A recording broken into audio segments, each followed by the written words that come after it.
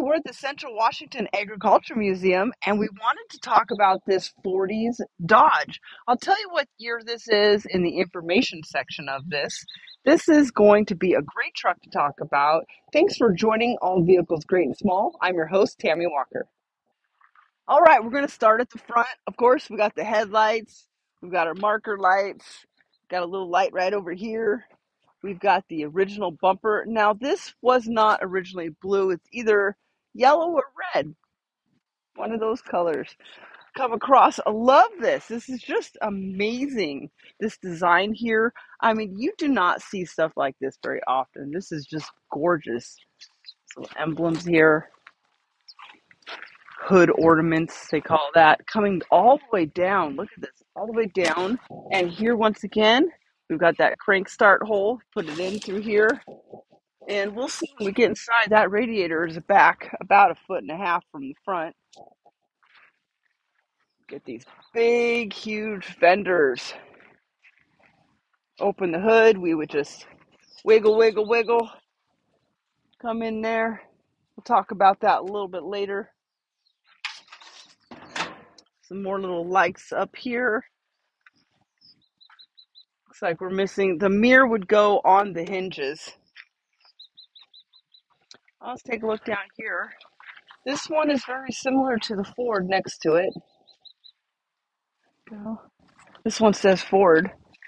This one doesn't say anything.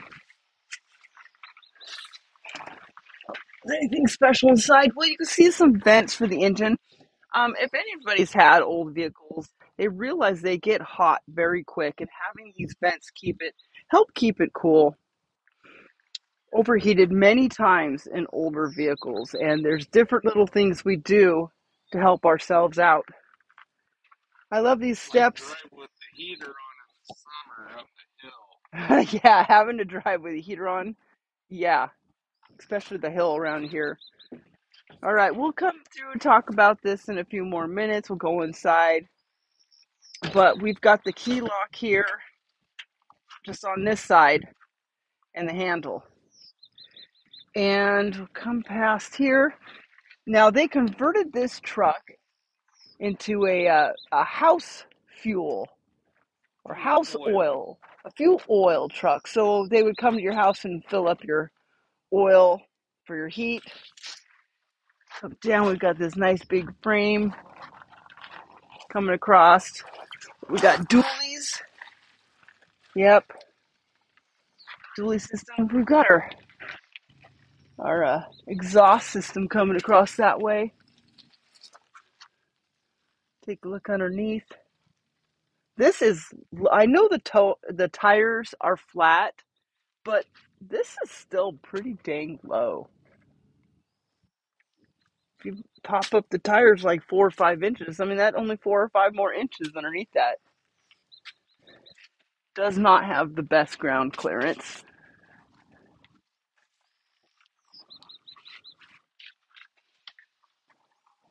I love the cartoon effect when you look if you turn and look at the the uh, fenders, how they stick out, kind of cartoon like, away from the truck. That's so interesting. All right, come back here.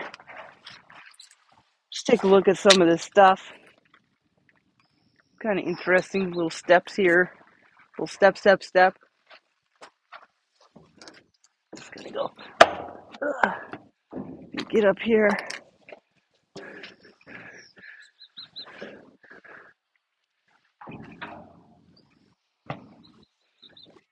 The top of the cab, you see, it's got a little point there in the center.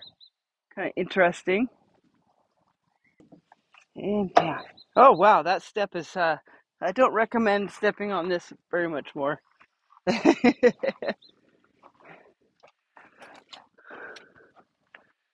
right, we'll come to the back. Last registered year, 1988. It says Independent Fuel Company, stove diesel oil, phone number 8011.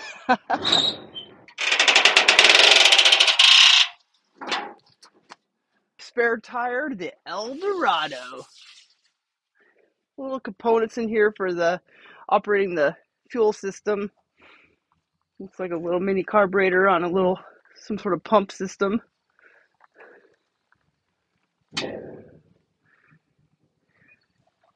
It's got some little levers over here you turn on and off.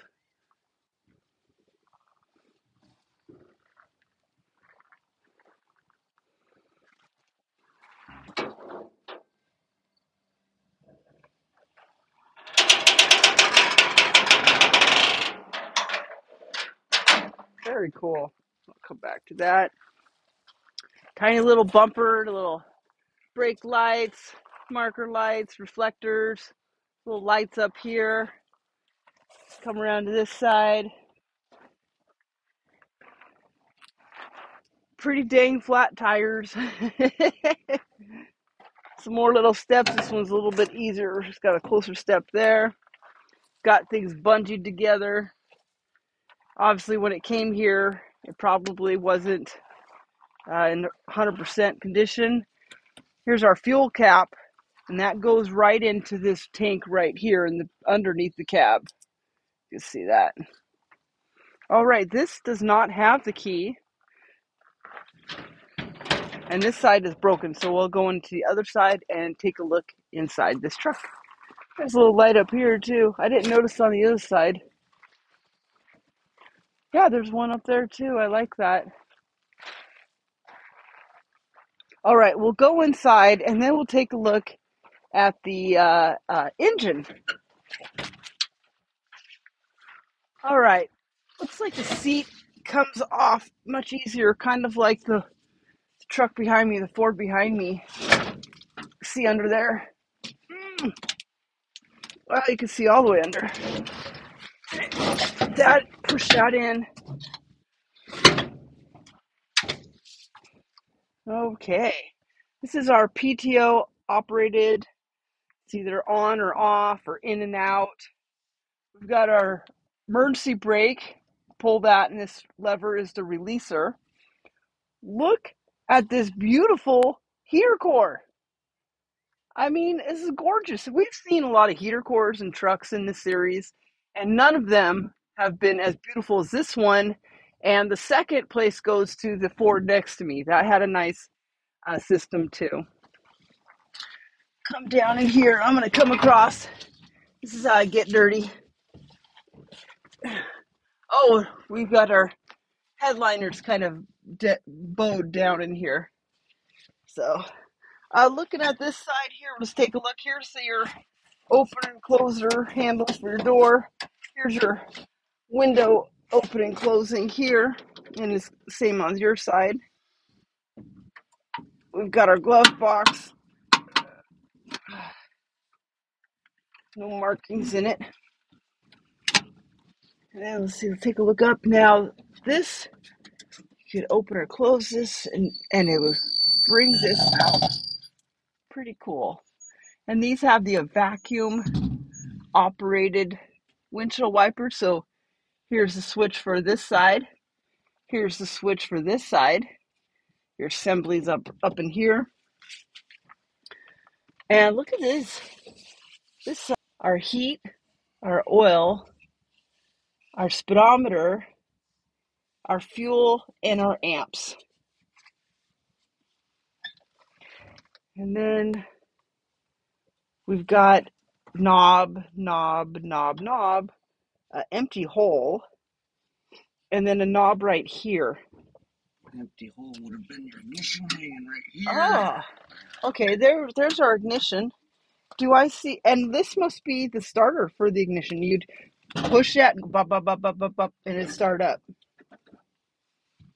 Turn the key on, bop, bop, bop, bop, bop, start up. Usually, you got to give a couple pumps of gas, two to four, depending on your vehicle.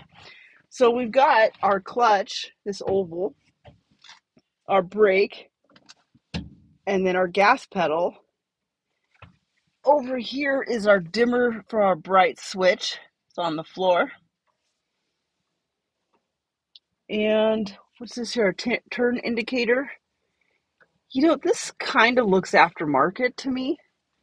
It's it's way too 60s design, Napa.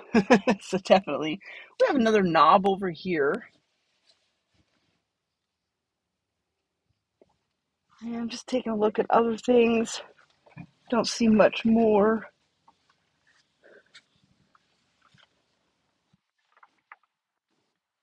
That looks pretty good. And just uh, take a picture of the back here. Oh, look at this seat. This seat would fold forward, and this seat, you pick it up. So the hinges are right here on it. So, yeah, like that. All right. And then our headliner, of course, is coming down. Let's go take a look at the engine.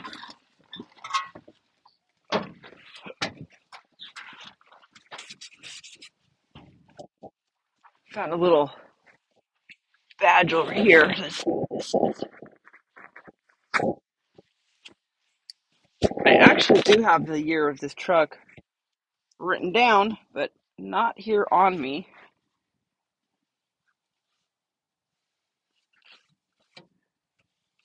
No, I'm not uh, really getting a visual on these, so.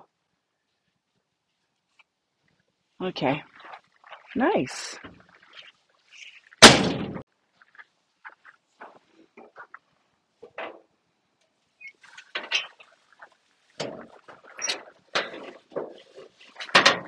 What do we got in this old Dodge? This is a straight six flat head. No, oh, this is in block valve. No overhead valving. Right. And this is a gas engine because we've got spark plugs. This is our oil bath mm-hmm. hooked down to our carburetor. Intake manifold, exhaust manifold. This little guy controls the temperature of your manifold. This is spring operated. Once your engine comes to a certain temperature, this little weighted cam lever will change and let you run better when it's warm. Oh, well, that's something.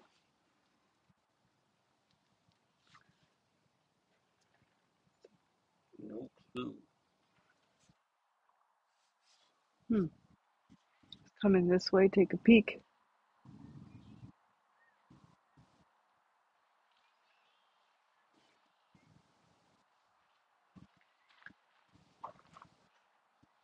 Old horn back there reminds me of a snail. Hmm. Nautilus shell. All right, we'll take a look at the other side.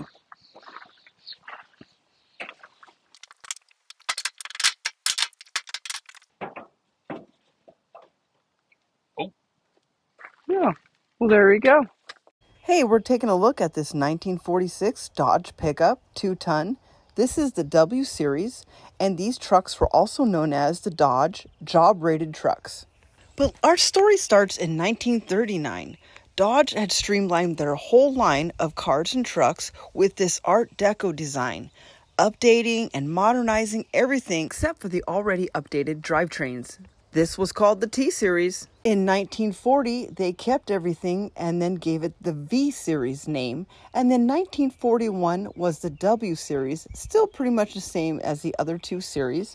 And the W Series was from 1941 to 1947. The 1939 to 1947 job rated trucks were a defining moment in Dodge history. They were first to be mass produced in the new Warren truck plant. Dodge wanted to create a custom truck for the customer, their experience compared to buying shoes, and offered over 20 different wheelbase lengths and six different payload classes. The W Series had the light duty and medium duty trucks. The light duty was half ton, three quarter ton, and one ton, and the medium duty was two and three ton.